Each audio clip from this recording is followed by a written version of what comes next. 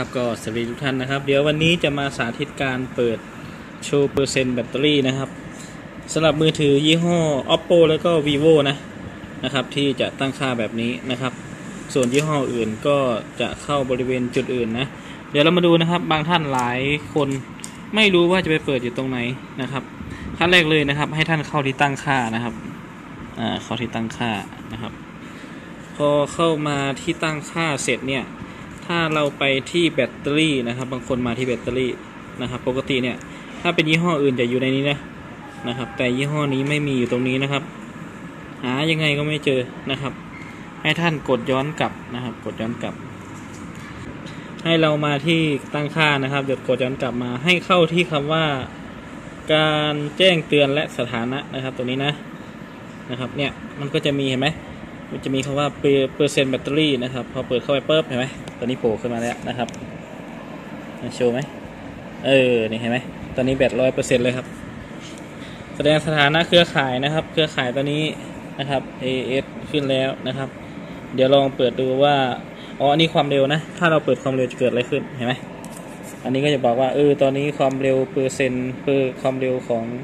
คลื่นเครือข่ายมันเท่าไหร่นะครับ พอดีไม่ได้เล่นเน็ตมันก็เลยไม่ขึ้นนะครับ แล้วแต่ว่าจะตั้งนะครับ การแสดงข้อมูลด้านล่างนะครับอ่าลองเปิดดูนะครับ มันก็จะมีอะไรเกิดขึ้นนะครับอ่าเปิดหน้าจอเพื่อแจ้งเตือนพวกนี้นะครับ เป็นการแจ้งเตือนสถานะของเครื่องทั้งหมดเลยนะครับ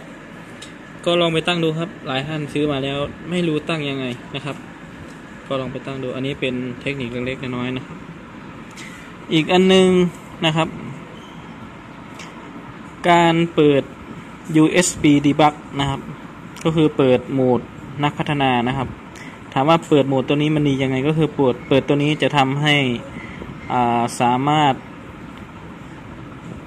แก้ไขระบบของเครื่องได้นะครับ ไม่ว่าจะเป็นการรูทนะครับ การลง ROM นะครับอ่าบางท่านไม่รู้เลยว่า ROM คืออะไร ROM ก็คือเฟิร์มแวร์หรือ ระบบปฏิบัติการของเครื่องก็คือพวก Android นะครับ ก็คือสำหรับ ROM ก็คือรุ่นของรุ่นนั้นนะครับ จะไม่สามารถใช้ด้วยกันได้นะครับ วิธีการก็คือให้เราเข้าที่เกี่ยวกับโทรศัพท์นะครับอ่าอันแรกเลยนะครับ ดูชื่ออุปกรณ์อุปกรณ์เครื่องนี้เป็นรุ่นไหนนะครับ วิธีการก็คือให้เราเข้าที่เกี่ยวกับนะครับนี่เกี่ยวกับปั๊บเข้าไปไหมรุ่นนี้มีชื่อรุ่นว่า oppo a สามเจ็ดเห็นไหมครับ เนี่ยรุ่นนี้เป็นรุ่น oppo a สามเจ็ดนะครับ โอ้มือถือมันไม่โฟกัส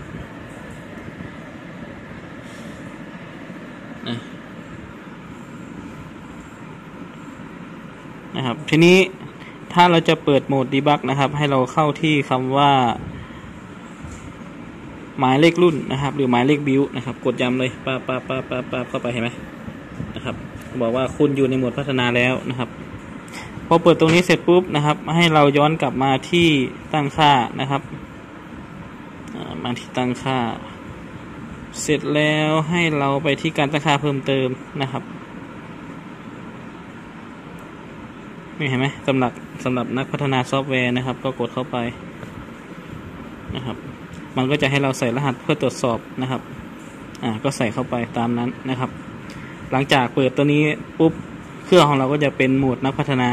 ก็สามารถแก้ไขปรับแต่งโทรศัพท์ได้นะครับ อะก็เอาไว้แค่นี้นะครับ โอเคครับ เดี๋ยวพบกันใหม่ในคลิปต่อไปครับ ขอบคุณครับ